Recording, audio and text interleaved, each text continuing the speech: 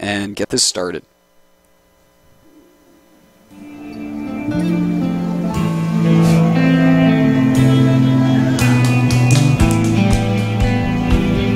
All right. So, while we wait for that, I guess I have about 39 seconds to sit here and fill. We got the audience back from lunch. Welcome back, audience. The other group went long, so Artosis cast on the main stage all night long. Oh yeah, fist pumps, great audience. I might be making that up. You don't know. Um, so we just got to wait for this uh, this GOM TV player to uh, time out. I wonder if that's me. I don't even really know, but that's okay. Uh, if Hero goes down to ForGG, that suddenly makes the group a little bit more interesting, I think, because a lot of people are feeling like, okay, Hero's going to go up, and he's probably going to go out first, which, I mean, that makes sense. He's so strong. Uh, definitely could be the case, but of course, you can't count out SOS or Symbol, whereas ForGG was the the more easy person to maybe count out. You know, he's been outside of the Korean scene a lot longer. Yeah, Hero also played a different WCS that wasn't Korea, but he lives in Korea and practices here, plays Pro League and all that. So uh, it will be really interesting if ForGG goes up to the to the winner bracket match. Not saying that he'll necessarily get out because I really feel like Symbol, who you know, Symbol is so good right now. He got top four in WCS uh, Korea, and then of course SOS top four.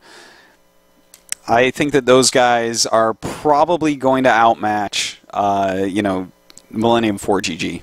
Sorry to any ForGG fans, but uh, looks like this should be done in just a couple seconds here. Still timing some people out. Just chilling here. I hope you guys are enjoying the solo cast. It's really difficult to do. And there we go. I think everyone has dropped that's going to drop, so we should be able to get back in that game. Okay. Up here in the top right, our Protoss player down one game. He is Liquid Hero from America. Of course, from America WCS, where he won. And down here in the bottom right, our Korean Terran, he is Millennium ForGG from Europe. And of course, yes, he did qualify in Europe. Very high-end player indeed. I'm excited to see what build order he chooses on this map because I think that's going to dictate a lot because ForGG will do very abusive things. Now Hero will sometimes too. But I'm I'm more interested in the actual decision-making process behind uh, ForGG because I feel like Hero isn't very easy to predict in PvT, whereas uh, ForGG might follow the same lines a little bit more. So with Hero, looks like he's going to be going Nexus first, and with ForGG, looks like he's going to be going Command Center first. And that means that we're going to get likely into a macro scenario, but there are builds with both of these openings that go into heavy, heavy aggression. For instance, we could see uh, from Hero uh, right into a 6 gate from there. Of course, we could see both these players just expand yet again and this is still basically a Nexus first, uh, for anyone wondering. You can get the gateway right before, and it just shoots your tech up a little bit faster. Uh, either way is completely fine. This one is just slightly more conservative. Like if they were going for some sort of early rush, this one will do a little bit better. And if they're going for what ForGG is doing, which is the command center first, then the command, the, the actual Nexus before the gateway will be a little bit better. But they're they're the same type of brand build basically.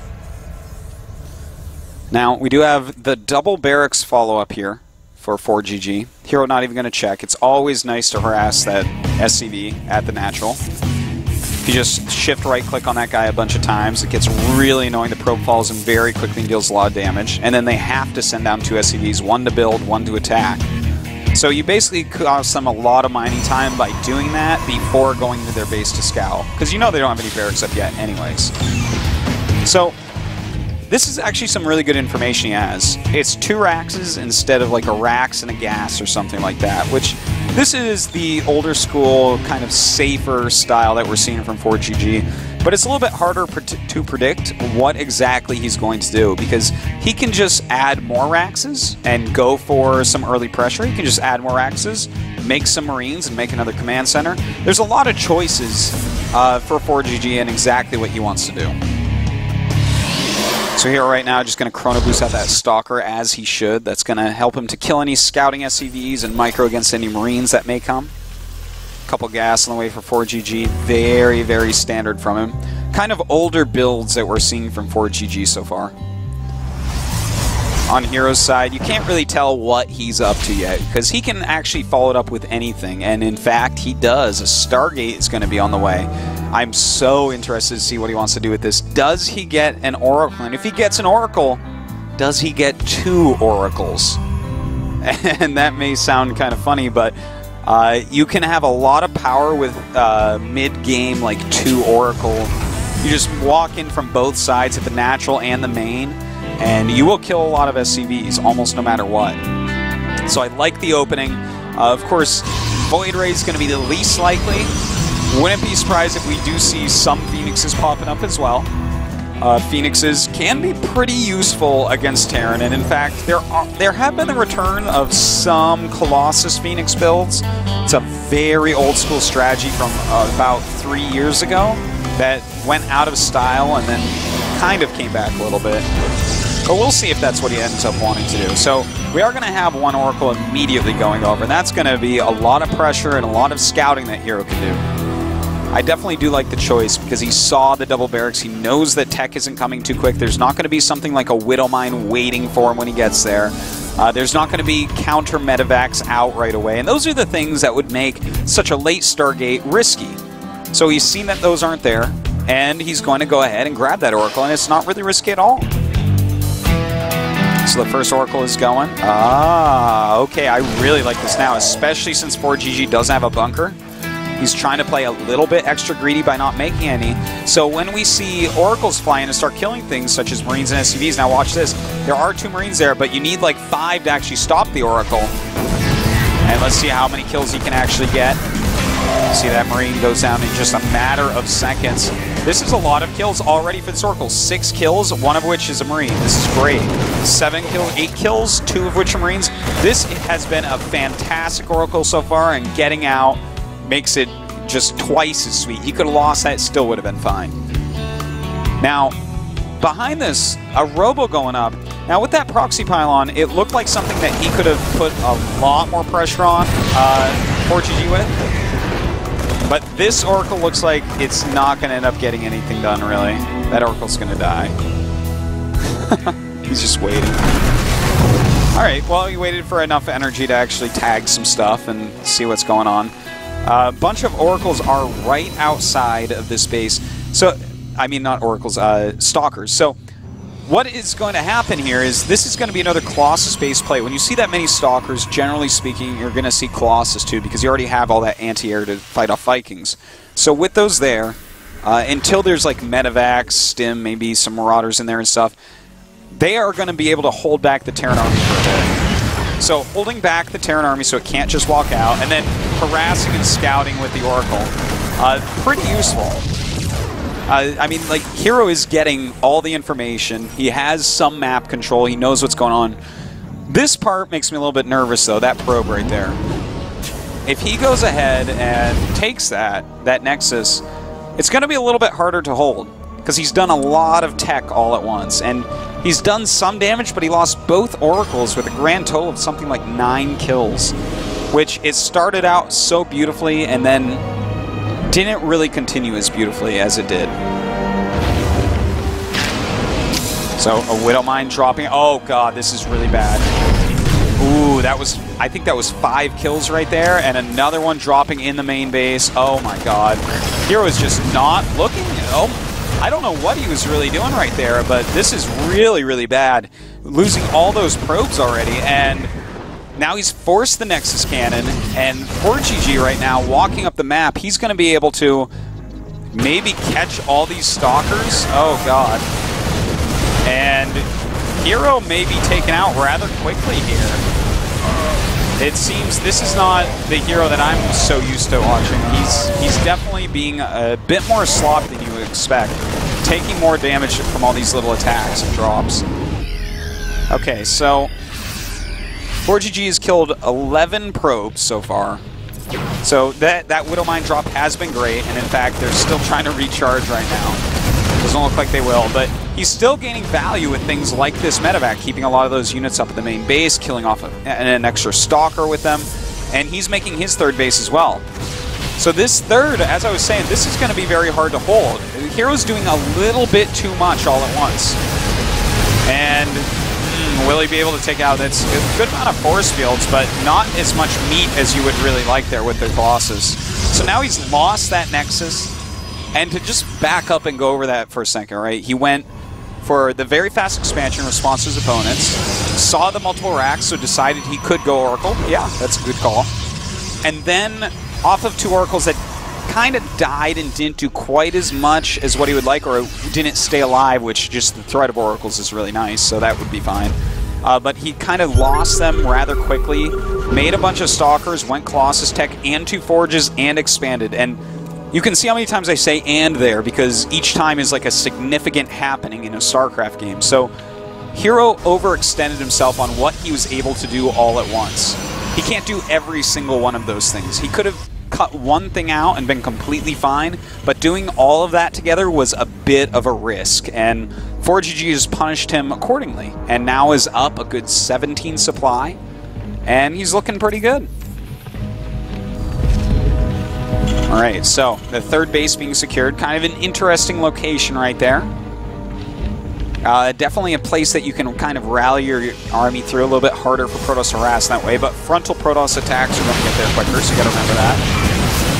Good catch right there by Hero. Looks like he will end up losing one more. No, not quite losing that Stalker. And Hero, of course, going for some counter harassment too. One of the, the Protosses that definitely does harass the most. There are Vikings, though, so this Warp Prism should be taken out very quickly. But this is a nice move. Taking out Warp uh, Reactors is very, very useful. And, of course, if he gets an Engineering Bay, that's always a big deal as well. It looks like ForGG will end up saving that. But there's a lot of information that was gained there. Uh, he killed the reactor. He lost a lot of mineral worth of units. But he does know that there's a good amount of Hellbats in this army, and he's going to have to be very, very careful because of that. Archon's definitely going to be a good unit to use against that. Psi Storm's going to be somewhat useful. Colossi always going to be nice. Uh, but there are seven Vikings out too, so this is going to be based mostly off of how good the psi storms are of Hero. And they're going to have to be quite good because he's down about 25 supply. And in fact, he's got 10 more probes than ForGG, which means he's really down 35 supply when you think about the fact that this is probably going to be decided by Army very soon. So we'll see how good those storms are. He doesn't have a lot of meat to soak up everything else. Does, oh, that Mothership Core has to be very, very careful. Okay, throws on a couple nice time warps, and that's a pretty decent storm to start out. Does lose that Mothership Core, unfortunately. And he's got to hit nice psi storms here. This is the important part. That Colossus looks like it's going to be sniped. The Vikings landing and taking a Storm. Kind of the opposite of normal, but he's doing a pretty good job with this. And there's just not a lot of actual units left for Hero. Another beautiful Storm. But ForGG still with some units left over. It looks like he'll pick off maybe the Archon and try to get out. Or just pick off the Archon, let everything die. That's fine too. Uh, but he's killed off all the expensive units, which is nice. Now, he lost his Vikings, and that's a little bit rough. And as we can see in the units lost tab, it is now in the favor of Hero, but the economy this game so far has been better for ForGG. So actually, from what's left over, I would say ForGG has a little bit better army right now. Now, ForGG just has to make sure that he's careful about his starport units, because I only see one starport right now. And that can be a bit rough, because he lost his medivacs and he lost his Vikings. If I'm Hero right now, well, Hero's doing it anyways, but any Protoss that kills off all your Vikings should be chronoing out Colossi immediately, because you've killed the Vikings, and especially when you've killed those medivacs as well, you have to get those Colossi out, because they aren't just gonna, they just won't have anti-air against it, and you're going to have army dominance at that point. So ForGG is continuing to push out right now. I think he's completely aware of all these things that I've been saying. Uh, and realizes that as long as he puts the pressure on now, he's still going to be okay because he did get rid of the expensive units. So it takes a while for Hero to get back up there uh, with those units that he's going to need to actually fight off a big Terran ball. You know, Colossi are very good against Terran, but just one, not so much. You really need a few at this point. Kind of an interesting uh, Templari warped in there. We'll lose those couple Marauders, but we'll clean this up rather easily. And, I mean, I'm going to check in. Yeah, he only has one starport. I really want to see another. He added another factory to make more Hellbats, but he's pumping out Vikings right now with just four Medivacs. I really, really would like to see that second, that second starport. In fact, anytime you have a secured third base economy for uh, Terran versus Protoss, second starport is never a bad call. Well, 3-3 on the way there. Both players are actually doing very, very well on upgrades. Now, ForGG's army looking pretty scary for Zealots right now. He's up to 15 Hellbats, and there's only 19 Zealots out. But there are two Colossus and six High Templars, so that's going to be the main part here. He's going to need to really storm heavily. Uh, this is this is looking pretty rough, especially losing that right there. That one High Templar getting picked off. A lot of Zealots in the back as well. He's down about 40 supply right now. And there's a good amount of Vikings. The thing is, there's not a lot of medivacs, so Storms can still help him quite a bit, but this is looking more and more 4G favor. ForGG favor. Once again, that does get picked off. The Zealots, of course, cannot just run into that. Does finally Psi Storm, but I think it's too little too late. He's lost all of his Colossi. He's basically got nothing left. I, even if these are the best Psi Storms ever, ForGG is probably going to end up winning this game. He's killed that third base once again. The economy of Liquid Hero is in the gutter. The army of Liquid Hero is in the gutter. He's got a mostly Zealot-based force against a mostly Hellbat-based force. 22 Hellbats out right now. That is that is pretty sick. All right, well, this this could be brutal. Really, really nice psi storms, but it seems like ForGG not even bothering to micro that much. You know, he's got such a better unit composition at this point that he's just going to rip through absolutely everything. And Hero's going to have to GG. He's got half the supply. He's got half the economy at best. He's got nothing left. So that is going to be that. Just waiting on his GG. You know, I gotta say, I am uh, pretty impressed by ForGG this game. Uh, this series, in fact. ForGG has done a really nice job uh, just kind of dismantling Hero 2 to 0. Now, that game, Hero was way, way too greedy uh, after the Oracles. Again, he did one thing too many.